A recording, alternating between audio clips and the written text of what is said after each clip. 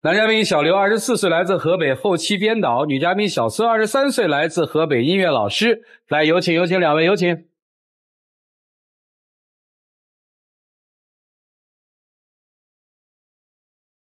主持人好，好，好，好，欢迎两位啊！做后期的，对，哎，挺好，我们的同行啊，算同行。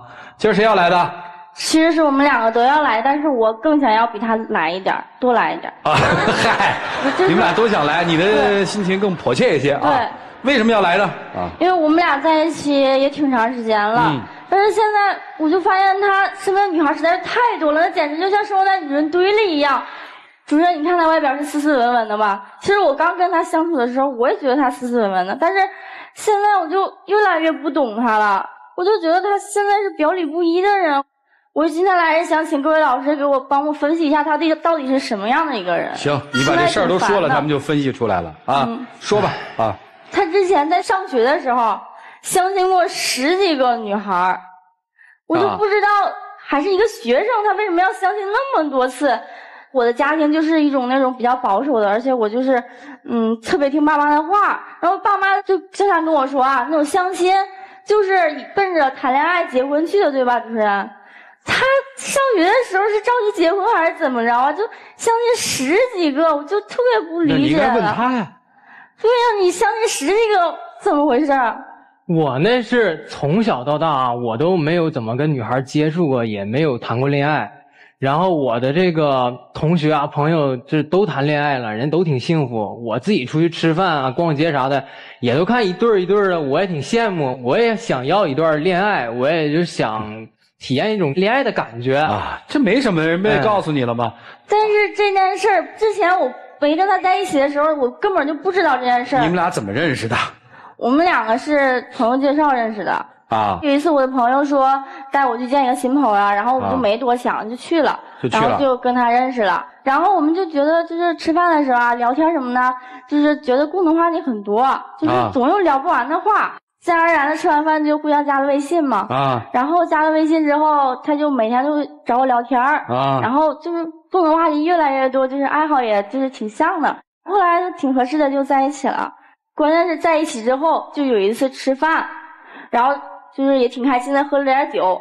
那次我才知道他之前谈过十几次恋爱，他是喝醉了之后才告诉我的。你你现在给了我们好好几个概念了，相亲和谈恋爱是两件事儿，他到底是谈恋爱还是相亲？啊，相亲相亲，之前相亲，但之前相亲我这没合适的嘛，那么多都没有成，直到后来遇到了他，我觉得我俩那你是跟他相亲还是什么？他这属于这个朋友介绍的，然后我俩慢慢自己认识的，这不算相相亲亲啊？明白了啊主持人，你知道我为什么跟他在一起吗？我就是觉得，因为我们之前没有谈过恋爱，我就是一张白纸。他不也没谈过吗？是啊，但是他相亲过那么多，一次都没有成功，那谁信啊？而且他相亲的，就是有的比他大，而且还都是社会上的，而且不是，这跟你有什么关系吗，姑娘我？就觉得，就这件事在我心里起了一个特别大的疙瘩，释怀不什么事儿，你了说。他总多想，你今天为什么来呀？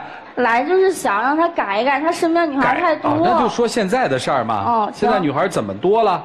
他就是，嗯，他不工作的时候吧，还会经常会给一些那种漂亮小姐姐去拍那种短视频。你知道那种是什么视频吗？就是穿超短裤、超短裙那种视频。就平时我跟他在一起啊，就他平时多看那种一眼，我就我都受不了。何况他专门给那些拍那些视频呢？我什么意我就觉得思？这这受不了这很正常是吧？现在你看这热舞视频呐、这搞笑视频、小段子啥的，挺火的啊。我也就是自己的一个小创作，也是一个兼职去拍一下这些，我觉得这很正常是吧这？这没什么呀。对啊工，作。怎么可能正常？本来我家庭就比较保守，我就受不了这些，那他就不能为了我不拍这些吗？他拍点别的吗？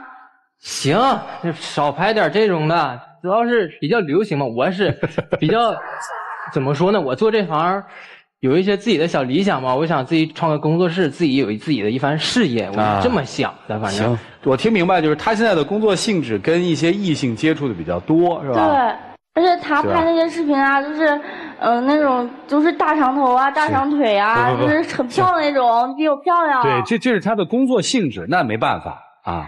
这这还有他工作的时候也是，他工作是做那个什么后期嘛，就比较忙，就是一天就是大大部分时间都在工作。然后他他有一个同事，啊，就是总跟他在一起嘛，一整天工作什么都在一起。关键那同事还是个女孩儿，不是这世界上除了男人就是女人，你说你怎么弄啊，孩子？你这俩吃饭，什么吃宵夜啊，工作什么，包括见客户什么，反正就是在一起时间比我多多了，好像是他们俩是男女朋友一样。这个这个我就特。别受不了啊！我就 是后期吗我就是那个很难受，很对吃醋。对对，我俩这一块加班一块工作，工作俩后期不就混在一起吗？四个后期，你说四个一起加班加到半夜了，一块吃个宵夜，这正常啊。你一说半夜，我就想又又有一个事儿，主持人，就是有一天晚上我就是睡不着觉，想他了，然后想给他打电话问他在干嘛，有没有在工作什么的，结果我给他打好几遍都不通，啊我就当时就挺着急，怕他出什么事儿，然后就一直打呀，终于有一个打通了，那边传来就是女孩的声音，女孩的声音，那我一想，肯定是他那个女同事啊，那个女同事还跟我说。哦，你男朋友睡着了，一会儿醒了之后再打给你。我当时听着 我都气炸了，当时我男朋友手机为什么会在他那儿啊？他为凭什么接我男朋友电话啊我？问你个问题啊，就是你没通过这件事情，你到你男朋友的公司，就是工作的地方去看看吧？你去看过吗？看过他那工作室，不知道是碰巧还是怎么回事，全都是漂亮的小姑娘，不知道是碰巧还是怎么回事。做后期的有好看的姑娘吗？光是呃，没别的意思啊，你们别指我啊。我就说这做后期的小姑娘太少了，都是像她，因为后期一般女生熬不下来的，后期还挺辛苦的。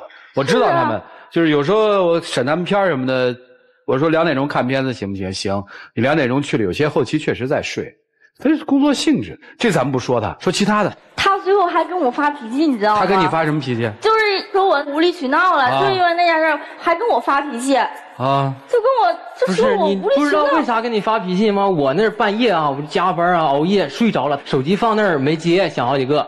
那同事没忙完工作，这他一看是不是有急事儿啊？想好几个了，人家也给我接了，然后就说他睡了，你要有什么事儿完了再说。嗯，这好心，他就想多了，上来就骂，不要脸了，什么什么的，哎，就就整的这墨迹事儿。不不不，说别的姑娘我不信，说这姑娘我特信，这话她说得出来，符合她一贯的这思维方式能不啊生气吗？这以后同事咋相处？行吧，这个咱们就算过去了啊，这都跟工作有关系。生活里怎么样啊？他生活上也是跟陪别的女孩，就是他，他平时他特别爱旅游，然后他也是机会比较多，总跟朋友出去旅游嘛。然后他就那次跟我说他要出去旅游，还说是推了工作去旅游。你说他平时工作那么忙，他都没为我推过工作。你说一说去旅游了，他就把工作推了，就是旅游的醋你也吃是吧？是他自己去旅游吗，跟别人去旅游，还是带你去旅游啊？不是我这旅游啊，就是我这一个爱好，这是计划好了的，想带他去的，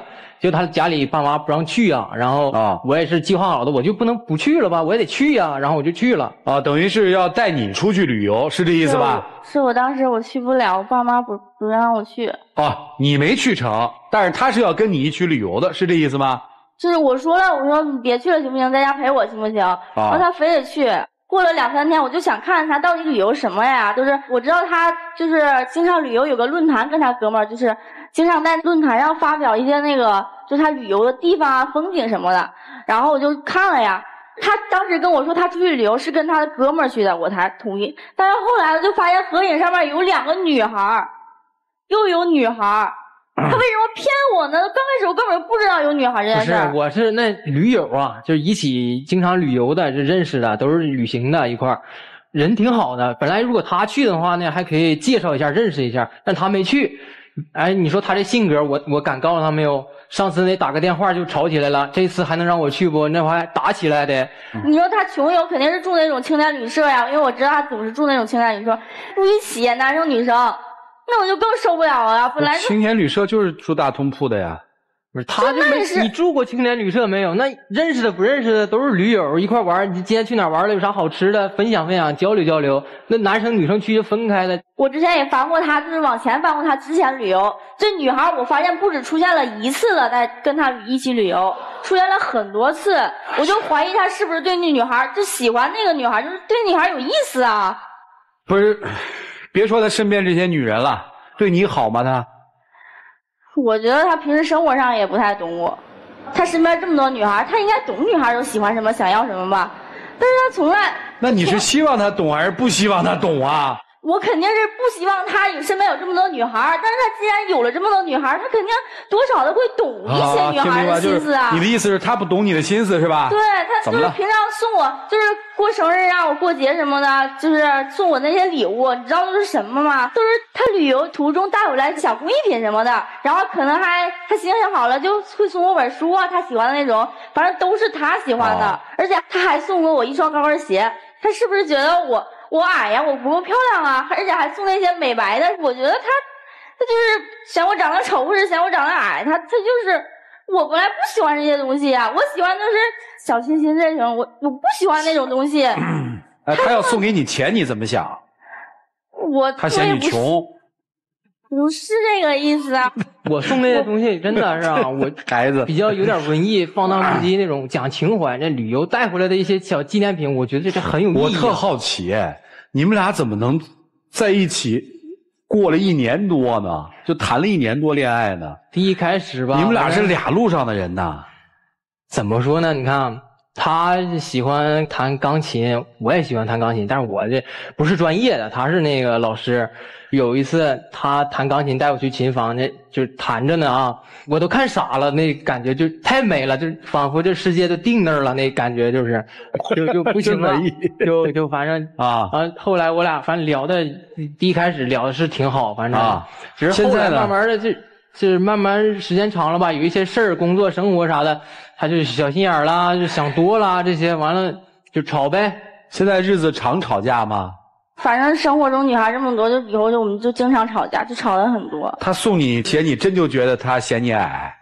那你看他之前拍那些漂亮小姐姐都是大长腿，然后我没跟你说他那个同事什么也是都是大长腿，都是美女，我就觉得他就是想把我打造成那样。那我非得跟着油腻大叔在一块儿天天，那就对了呗。我对我就觉得你跟应该跟那些人在一起，我就你跟别的女孩在一起，我就是看不惯，就不讲理了，这就。哎。他送你化妆品，你也不高兴；他送你鞋也不高兴；他送你书也不高兴；他送你旅游的纪念品，你也不高兴。你让他送你什么？你觉得是合适的？你看他连一个像样的项链都没送给我，脖子到现在还是空的。那不敢送啊！送你项链不是说你脖子短吗，孩子？不是这个意思，主持人。哦，就就没送到你心里是吧？对他不懂我的心思，我想说是这个。女生第一觉得男生跟异性的交往太多了，是这意思吧？哎。第二意思，觉得你要交往多了也没关系，你得懂我，对不对？你还不懂我，是这意思吧？行，老师们你们来吧，让我们一起进入新阳美容 APP 丘比特问卷。首先，我得为那个后期的那个工作环境和后期的同事评个反。妹妹是这样的：当你对一件事情极度不了解和缺乏安全感的时候，你可以试着走进这件事情。就比如说，你对他的工作环境不了解，因为我们做媒体的，我们非常清楚后期是一个什么样的状态。确实是没白天没晚上，在他们的世界里面没有时间概念，没有说是白天晚上，只有活干完和没干完的概念。因为他们要惨呐，我们这活儿。对，真的不容易。就因为他们要按时按点的去交这个片子，如果交不上来的话，这多大的事故？其实就是很简单一个常识问题。当你不了解事情真相，或者说你完全不了解的时候，你就试着多走进他的世界，看清楚、了解清楚到底他周围是一个什么样的环境。一个是给你自己建立自信和安全感，一个是你能明白他到底是不是在骗你。这是最直接有效的方式。这是第一点。第二点，我觉得你缺乏常识和眼界。就是很简单的一个问题，这个世界上就像川哥说的，不是男人就是女人，他就处在这样一个世界当中，他每天接触的除了男人就是女人，那你让他怎么办？绝缘体吗？不可能啊！然后你又要他不接触女生，还要让他懂得女生的心思，那怎么可能做得到啊？你说你现在脖子都是空的，你要一个项链，你就告诉他呀。你说我要一个什么样的礼物？因为在我看来，他送你的那些礼物，明信片也好，纪念品也好，在我看来是多么浪漫的一件事儿，证明他走到了每一个地点都时时刻刻想着你呀。如果你换一个思维，换一个角度去想的话，这件事情就另外一个角度了，对不对？所以你不能以你自己的意志为转移，去否认他为你们的感情或者为你做出的一些付出和努力。他送的这些礼物可能是没送到你的心坎上去，但是那也代表了他的一片心意，你不能抹杀掉，明白了吗？其次，对男生说就一句话啊，刻意的隐瞒就是欺骗，你甭说什么。那个怕他多想啊，怎么怎么着，然后不告诉他。你明知道他是这样的一个性格，你不告诉他，有一天让他知道，那更严重。是。所以就是想办法带他多走进你的世界，你也想办法多走进他的世界，这样彼此相互了解，才能一起携手走向未来，好吗？好。相爱前提是要先相互了解，好吧？啊，问一下女生，你觉得你配得上他吗？我觉得我配得上他呀。配得上他？嗯。那你为什么那么害怕呢？因为他身边都是那些大长腿、漂亮、大长头发的。我说我不是，完全不是那种类型的。其实你要知道，呃，从另外一种算法来看的话，人家相亲了那么多，最后选到你，对不对？其实这应该说，从男朋友的角度来讲，对你的认可。那身边那么多大长腿，最终不还是你留在他身边吗？所以应该是自信才对。最终你能走多远，在于你，而不在于周边的那些人。那另外一个呢？呃，男朋友一直会觉得他总是无理取闹，对不对？总是不满足，无理还取闹，取什么？闹什么？闹的就是情绪。这情绪是什么呢？对爱的饥渴。所以说，从你的角度来讲的话，你提那么多的要求，包括你那些这种不安全感，其实你都是对爱的这种吸取。你觉得他不够关心你，他不够懂你，不够理解你，你对爱来讲，这个需求的量可能会比一般人要大一些。那如果这样下来的话，有可能会拉近你们俩之间的这个差距。你这种大量的索取爱，会导致他非常的疲惫。疲惫到一定程度的时候，这种差距就越来越大，那么真的就是会让你的担心成为一种事实。所以，真正能够坚持到最后，一定是靠你的自信，靠你们感情的经营。外界的影响永远无法靠你个人的意志或者这种强行来去阻止，这根本是做不到的。那么，对于男生而言的话，刚才我也说到了，这个女生呢，她在这段期间里面对爱的需求比较大一点。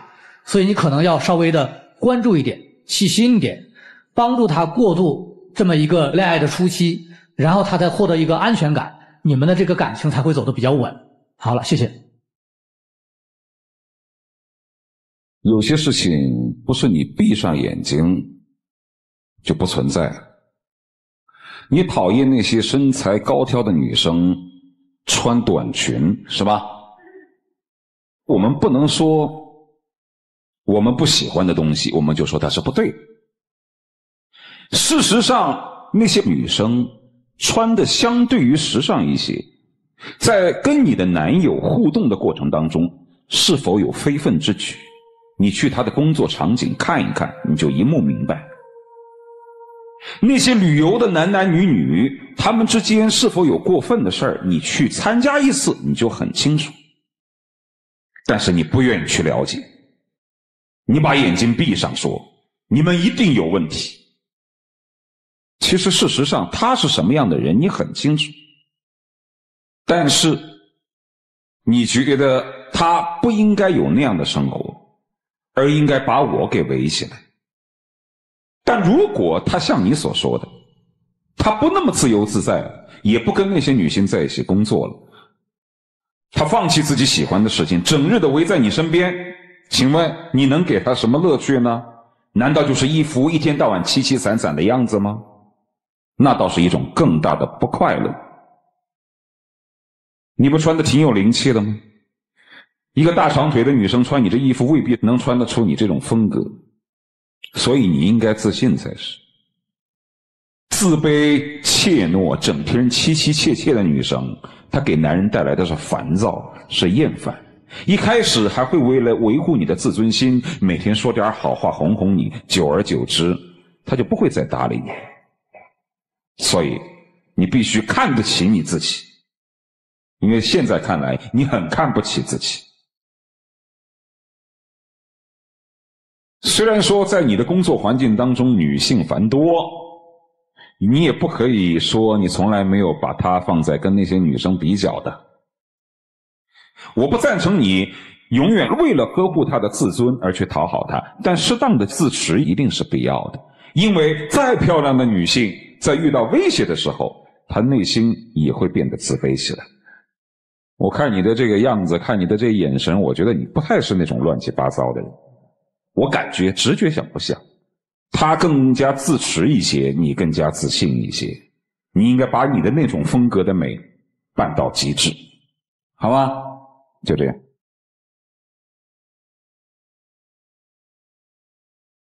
呃，自卑啊，自信啊，那慢慢来，不是一日养成的。我认为。在爱情当中，我们要寻找的一定是跟自己一致的同类，三观要一致，至少你们在爱好和看待很多重大问题上是一致的，否则走不到一起。所以，姑娘，我觉得生活的豁达一点，这个最重要。好了，你们俩自己决定吧，一起进入那几天喝古方红糖真情六十秒。我觉得咱们两个走到一起，反正经历了那么多，挺不容易的，是吧？而且我也见了那么多女孩，身边也有一些，然后终于。遇到了自己喜欢的，就是喜欢你这份单纯，然后可爱，不像他们那种世俗。但是我我知道我自己身上确实有很多缺点，然后就是你觉得不好的地方，我也没有跟你去把这些事情说清楚。然后你就你不理解我，我就这样了，发脾气就发脾气了，可能我也没做好，但是我还是希望我们两个能。好好的，好，时间到，谢谢两位啊，回去想吧，请回。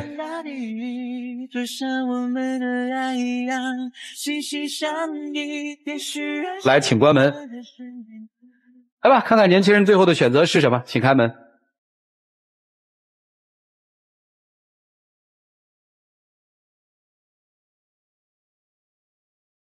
抱一抱，就当作从没有在一起。